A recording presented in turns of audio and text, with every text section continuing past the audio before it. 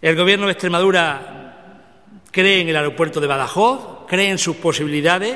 Creemos que es necesario tener un aeropuerto que preste un buen servicio y que tenga precios asequibles y por ello, desde este convencimiento, el de conseguir que el avión, el avión en Extremadura, sea una alternativa real a la hora de viajar, ponemos encima de la mesa y así lo anunciamos esta licitación.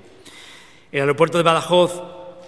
es un aeropuerto perteneciente a la red de AENA que durante 2012 obtuvo nada más y nada menos que 65.637 pasajeros, lo que significa en definitiva un 15,2% más que el año anterior, año 2012, tan difícil para la aviación comercial, como, ustedes saben, con una caída aproximada del 9% de viajeros en nuestros aeropuertos de la red estatal AENA.